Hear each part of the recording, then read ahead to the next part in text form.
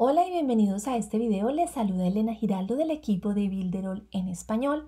En esta ocasión aprenderemos a programar una notificación de navegador para enviarla en fechas posteriores. Para ello vamos a elegir un sitio web eh, que tiene activas las notificaciones. En este caso vamos a coger el primer sitio web.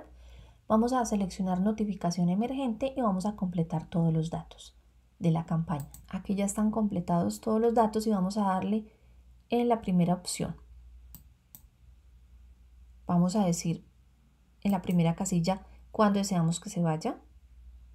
Por ejemplo, el 25 de marzo. Le decimos OK. Luego seleccionamos la hora. Puede ser a las 8 y 5.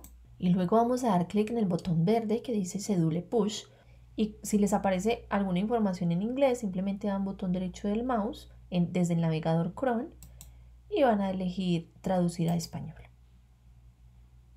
Y aquí ya nos aparece en español. Vamos a darle entonces programar para después. Y dice que fue programado. Veamos entonces aquí los elementos programados. Y aquí vemos que está pendiente por enviar. Vamos a volver al inglés. Vamos a darle ítems programados y aquí nos aparece. De esa forma podemos programar entonces las notificaciones. Para ver las notificaciones programadas, venimos aquí a esta opción de Schedule Items